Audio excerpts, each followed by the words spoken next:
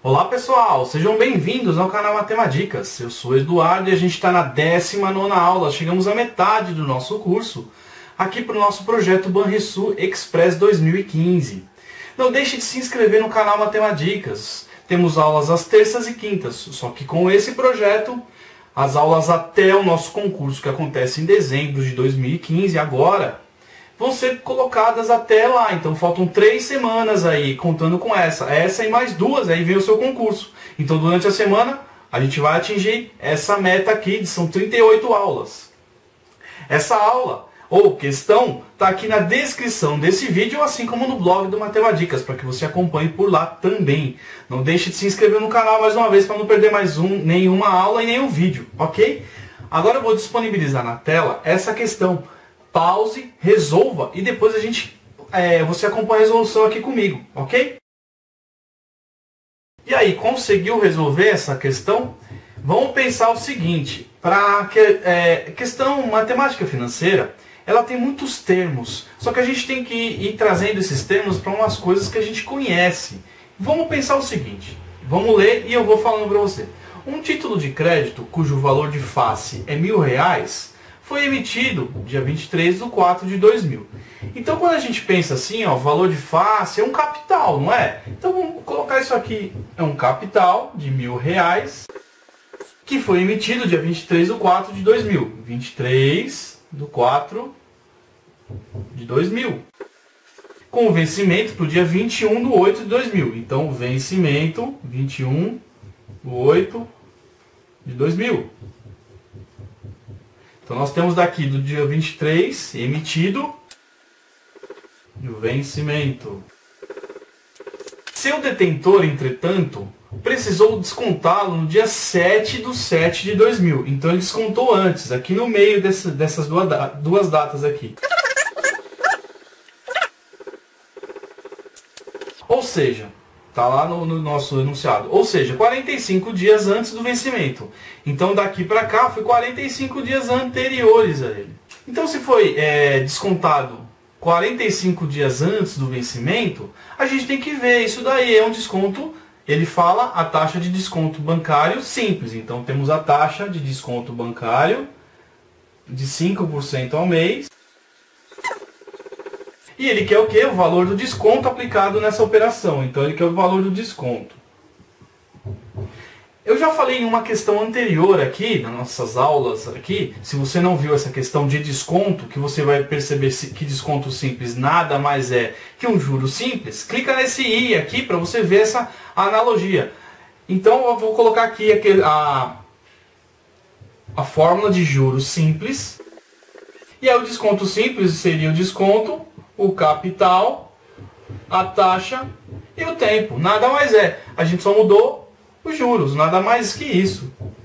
E o que, que ele quer? Ele quer exatamente a letra D. Só que a gente tem que ver a letra T. Quanto que é a letra T aí? São 45 dias. Ok? São 45 dias. Porém, a taxa está ao mês.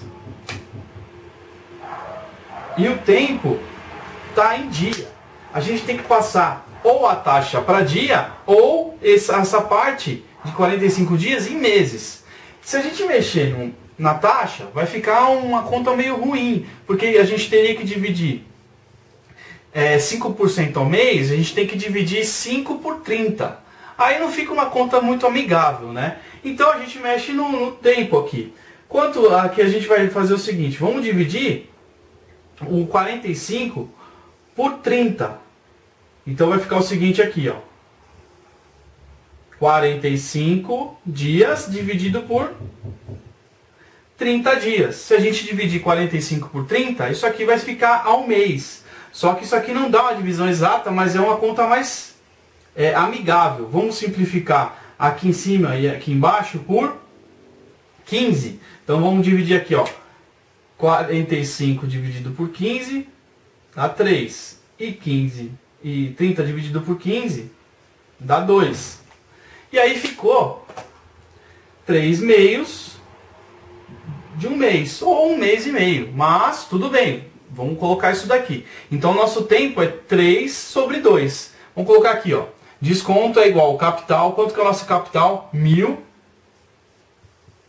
vezes a taxa. Vou colocar aqui, ó, a taxa. Eu vou colocar em porcentagem, 5%. Como é o mês, a gente pegou, transformou os 45 dias em meses, ou seja, um mês e meio, 1,5 mês. Mas eu vou trabalhar com 3 sobre 2, a mesma coisa. Vezes o tempo, que é 3 sobre 2. Por que, que eu vou trabalhar com uma fração? Porque fica mais fácil da gente simplificar depois. Então vai ficar desconto igual a... Esse 5% é 5 sobre 100, então vamos fazer isso. 5 sobre 100 vezes 3 dividido por 2. Vamos simplificar o que a gente consegue aqui. Olha por que, eu estou usando 3 sobre 2 e não 1,5. Para não fazer conta é, no meio do caminho, com vírgula, né? Ó, esses dois zeros, vou embora com esses dois zeros. Aí sobrou em cima 10, 5 e 3. Dá para simplificar esse 10 com esse 2. 2 por 2 dá 1. 10 por 2 dá 5. E aí sobrou 5 vezes 3 vezes 5, ou 5 vezes 5 vezes 3. E o desconto vai ser 5 vezes 5, 25, vezes 3, o desconto vai ser de 75 reais. E isso está na alternativa E. Ok? Espero que você tenha entendido. A única é, dificuldade, teoricamente, era só passar a taxa de dia para meses ou, ou melhor, o tempo de dia para mês ou a taxa de mês para dia.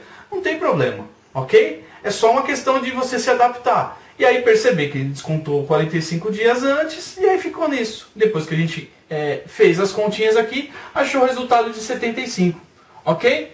Espero que você tenha entendido que desconto simples nada mais é que um juro simples. Essa analogia ajuda bastante e a gente resolve bastante exercício assim, ok? A gente já caiu, eu já resolvi um exercício é, para vocês de, de, de desconto fazendo essa analogia, ok? Tá aqui na descrição desse vídeo se você não assistiu essa aula.